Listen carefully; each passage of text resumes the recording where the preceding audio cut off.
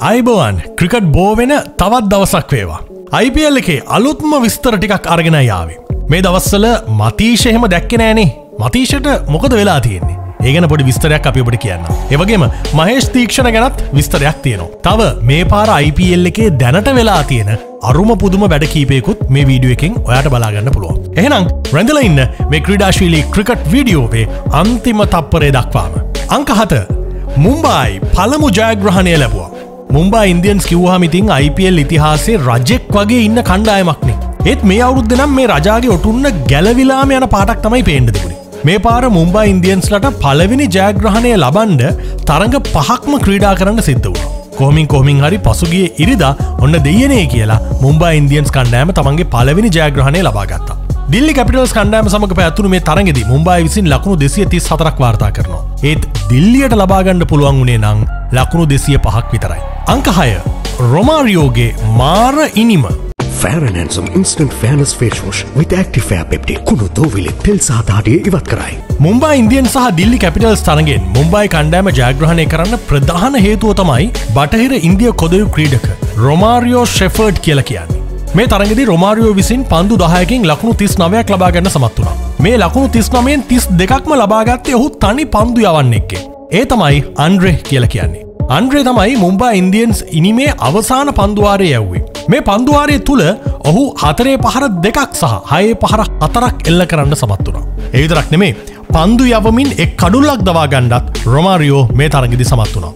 ඔන්න හොමයි මුම්බා ඉන්දියන්ස්ලා තමන්ගේ පලවෙනි ජයග්‍රහණය වාර්තා කළේ. බලන්නකෝ රොමාරියෝ ගහන මේ පාරවල්ටික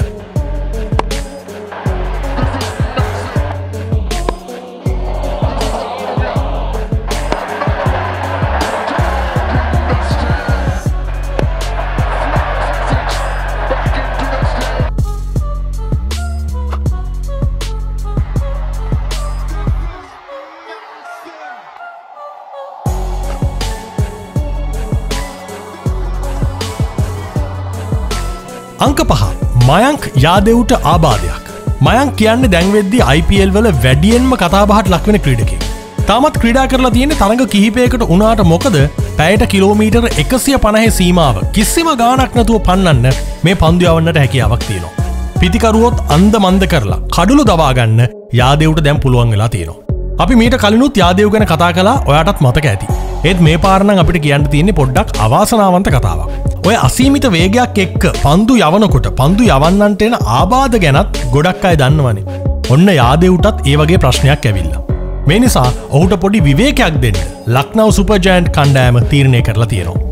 යාදෙව් ඉස්සරහටත් මීට වඩා හොඳින් කළමනාකරණය කරමින් පාවිච්චි කරන්නයි ලක්නව් කණ්ඩෑම තීරණය කරලා තියෙන්නේ. අංක හතර බිෂ්නෝයිගේ සුපිරි උඩ පන්දුව. ලක්නව සුපජයන්් සහ ගුජරා ටයිටන්ස් කණ්ඩෑම් අතර පසුගේදා පැත්තුණු තරගෙදි. ලක්නව් දඟපන්දියවන ක්‍රීඩක රවි බිෂ්නෝයි අති විශිෂ්ට උඩ පන්දුවක් රැගගණඩ සමත් වුණා. ලක්නව කණ්ඩායමෙන් ලැබුණු ලකුණු එකසිය හැට හතරක ඉලක්කයක් හමායමින් සිටි ගුජරාට් ඉනිමේ දෙවන කඩුල්ල විදිහට. සුපිරි පිතිකරු කේන් විලියම්සන්ව දවාගන්න රවී රැකගත්ත උඩ පන්දුවයි මේ.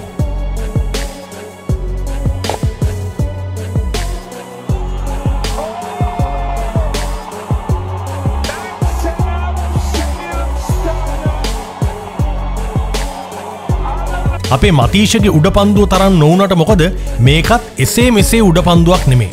රවී සම්පූර්ණයෙන් පාවිමින් තමයි මේ උඩ පන්දුවත් රැකගත්තේ. මේ උඩ පන්දුව රැකගන්නකොට ජොන්ටි රෝඩ්සත් මතක් වුණානං ඔයත් නියම ක්‍රිකට් ෆෑන් කෙනෙක්ක. අංකතුන හෙට්මායගේ මනුස්සකම. අපි IPL ගැන කලින් කතාකරපු වීඩියෝ එකදී ජෝස් බට්ල විසින් වාර්තා කළ ශතකය ගැනත් කතා කළ. එක බලපු නැති අයට කලින් වීඩියෝ එකට ගිහිල්ලා ඒක බලන්න පුළුවන්. බට්ල දැන් සෑහෙන කාලිකි නං IPL පිටිය දිගින් දිගටම අසාර්ථක වෙමින් තමයි හිටිය. එනිසා ඔහුට මේ ශතකය අමුතු ආශිර්වාදයක් වුණා කිව්වොත් වැරද්දක් නෑ. හැබැයි තරගේ ජයග්‍රහණය කරන්න එක ලකුණක් අවශ්‍ය වෙලා තිබුණු වෙලාවේ. කොහොම හරි ලකුණු හයක් ගහලා. තරගෙත් දිනලා ශතකයක් වාර්තා කරන්න බට්ලව දිරිගන්වල තියෙන්නේ අනිත් පැත්තෙ පිතිකරණය හිටපු. ශිම්රන් හෙට්මය කියලයි ආරංචි වෙන්නේ. කොහොමත් බට්ල ශතකය ලබාගත්තු වෙලාවේ බට්ලට වඩා හෙට්මය ඒ වෙනුවෙන් සතුටු උණු බවනං අපිටත් දක්නට ලැබුණ.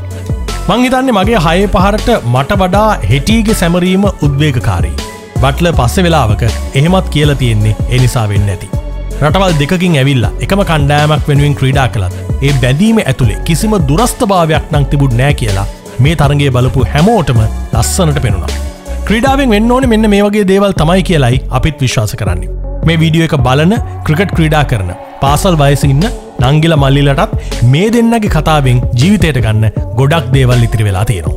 අංක දෙක පාණ්ඩයා සහ රෝහිත් අත්තල්ලා ගනී.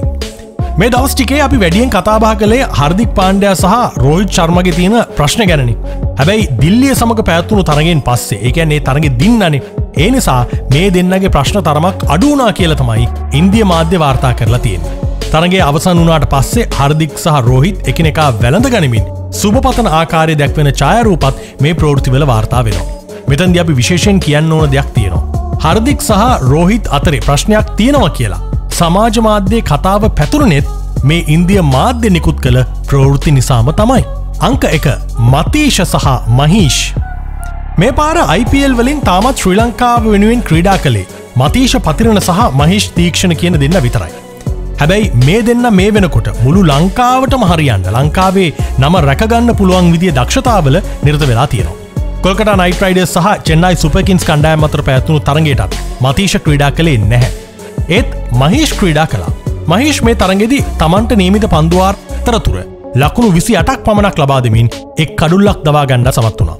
මහිෂ් ගොඩක් වෙලාවට තමන්ගේ පන්දුවාර ලකුණු තිහට අඩුවෙන් යවමින් ප්‍රතිවාදී පිතිකරුවන්ට හිස්සරදයක් වෙන ක්‍රීඩකේ.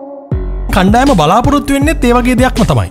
ඉතින් ඔහු දැන් ආයිමත් තමන්ගේ වගකීම අකුරට ඉටු කරන්න පටන් අරන් තියෙනවා කියලා අපිටත් සතුටු වෙන්න පුළුවන්. මේ වීඩියෝ එක රකෝඩ් කරනකොට නම් ඕගේ තරඟවාර්තා තිබුණේ ඔන්න ඔය විදිහට. ඒත් කෝමේ මතීෂ දැනට ආරංචි වන විදිහට මතීෂ පොඩි අසනීප තත්ත්වයක තමයි පසුවෙන්නේ. චෙන්නයි නායක රුතුරාජ් ගයික්වාඩ් නම් කියන්නේ එහෙම. සමහර ඉන්දිය මාධ්‍ය වාර්තා සඳහන් කරන්නේ පතිරණට තරඟාවලිය ආරම්භ වෙන්න කලින් තිබුණු මස්පිඩු ආබාධය ආයිමත් ඇවිල්ල කියලා. හැබැයි ඉතින් ඒ ගැන හරියටම කවුරුත් කියන්න දන්නේ නෑ. ඒත් ඒක අතිශය බරපතල මට්ටම එකක් නෙමේ කියලනං තහවුරුයි. කොහමත් එලබෙන විස්සයි විස්ස ලෝක කුසලානය වෙනුවෙන් මතීෂ හැකිතාක් පරිස්සම් කිරීම අපිට සෑහෙන්ඩ වටිනෝ.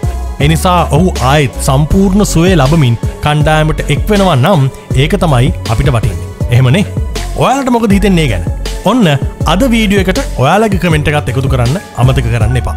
IPL තරඟාවලියේ අපි ඊළඟට ගේන වීඩියෝ එක නං එසේ මෙසේ එකක් නෙමේ.